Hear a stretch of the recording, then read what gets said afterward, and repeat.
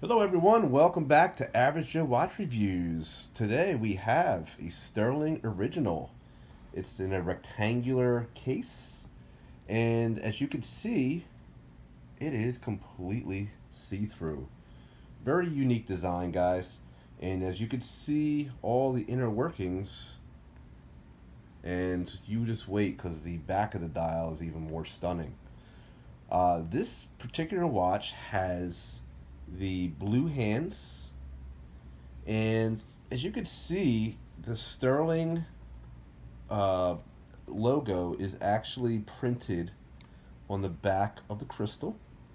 And so is the second hand uh, the the uh, sub sub dial is actually printed as well. Uh, the second hand also has the electric blue hands as well or electric blue hand as well this one does have metallic uh, applied markers.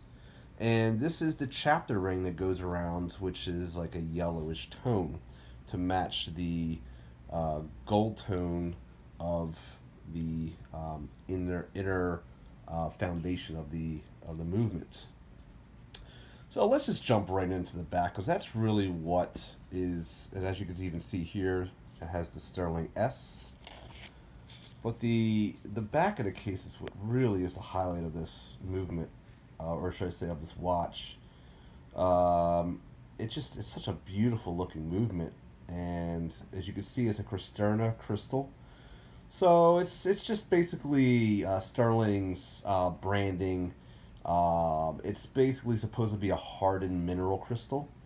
Um, you know, I've had this watch for many years, and uh, it's it's held up. I don't see any scratches on the crystal, so it is definitely a nice quality crystal. It's stainless steel, uh, water resistant. Uh, what does it say here? Thirty meters. All right, but I mean, just look at that movement. It's beautiful, beautiful looking piece. Um, when we look at the dimensions of the watch, we'll take our calipers here and give you guys a ideas to the dimensions.